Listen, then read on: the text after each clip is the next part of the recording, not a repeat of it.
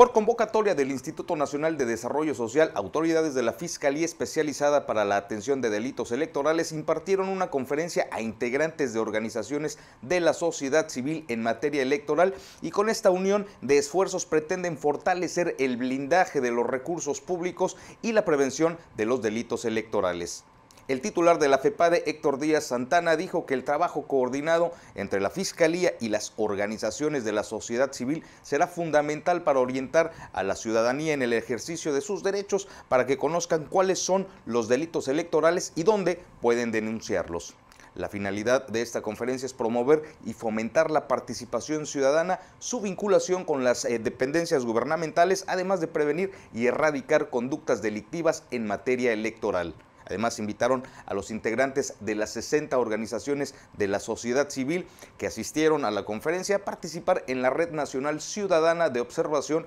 para coadyuvar con las autoridades a fin de prevenir y combatir la comisión de delitos electorales y la violencia política en el próximo proceso electoral.